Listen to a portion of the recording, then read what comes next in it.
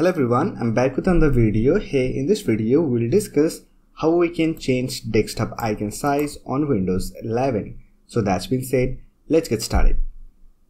If your desktop icon size are too big or too small, then you can simply change their icon size. Let me show you a quick method. To change the desktop icon size on a desktop, right click and here select view and here you will find different icon size option one is large. Similarly you can select medium.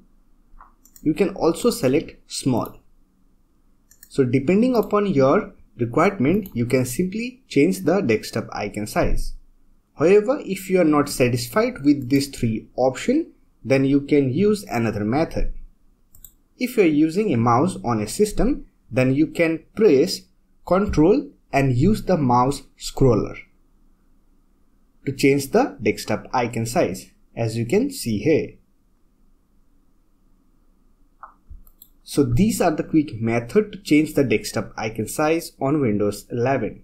I hope this video was helpful to you. If you found this video helpful, don't forget to hit that like button and subscribe to the channel for more videos like this. Bye for now, see you next video.